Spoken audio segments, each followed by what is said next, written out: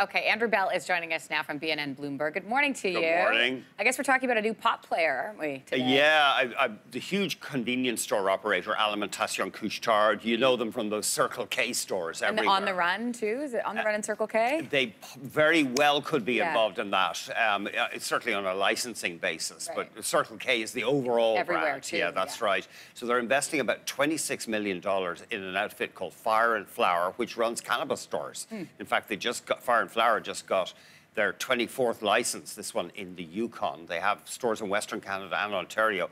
Alimentation up front will invest the 26 million and be eligible to get a 10% interest in Fire and Flower, but they also will uh, have provisions that can see them get a majority stake, just over 50%. So they may well take over Fire and Flower. So this once again legitimizes cannabis Right. in, in the sense that a big established retailer is getting into it. And how do you see this playing out? I mean, what what sort of branches are we going to go off in? Well, it's fascinating that you are seeing a mainstream company deciding there's a hmm. future in retailing marijuana. Now, they have already backed a store in London, Ontario, presumably on a kind of experimental basis, putting their toe in.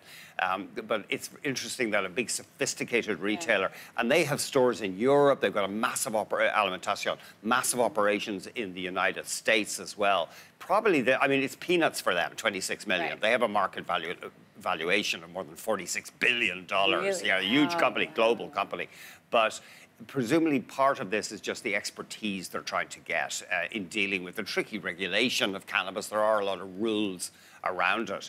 But this presumably will be good for the cannabis stocks today in the sense that a big sophisticated player is showing interest. Now, there's one other story I just want to share with Sure. you. The Globe and Mail has uh, alleges today CannTrust, remember that big uh, cannabis company got in trouble for allegedly growing pot in unlicensed rooms. Globe and Mail says it has seen emails that indicate that the CEO and chairman knew about this malarkey carrying on, uh, alleged uh, carrying on months months ago.